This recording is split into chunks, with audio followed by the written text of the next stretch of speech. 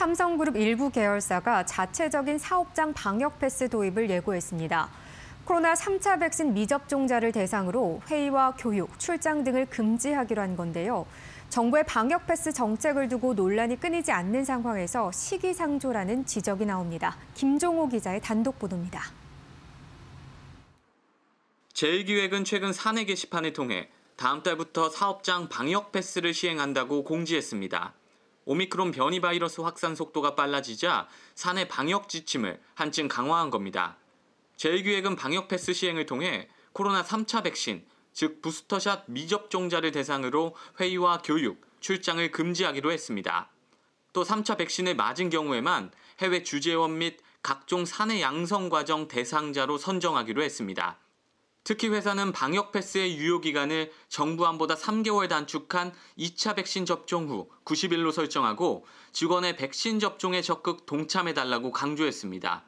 제1기획에 이어 호텔 신라 역시 최근 비슷한 방역 패스 도입을 사내에 공지한 것으로 알려졌습니다.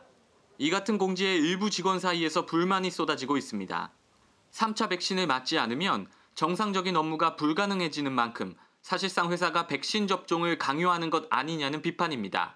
특히 회사가 정부보다 더 강력한 방역 패스 지침을 꺼내들자 지나친 규제라고 목소리를 높였습니다. 업계 역시 우려하고 있습니다. 구성원 안전을 위한 방역 패스 도입 취지는 이해하지만 정부의 방역 패스 정책을 두고 논란이 이어지는 가운데 기업이 자체적인 방역 패스를 도입하는 것은 시기상조 아니냐는 지적입니다. 시민단체를 중심으로 방역 패스 정책이 인권 침해라며 집단 소송이 확대되는 상황에서 기업이 직원 백신 접종을 강요하는 것은 논란의 소지가 될 수 있다는 얘기입니다.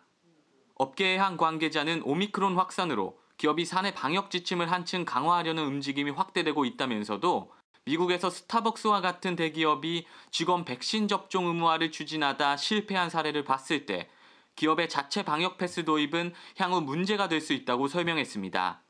한편 제1기획은 사내 방역 패스 시행과 관련해 직원의 다양한 의견이 있어 현재 관련 내용을 재검토하고 있다고 답했습니다. 이데일리 TV 김종호입니다.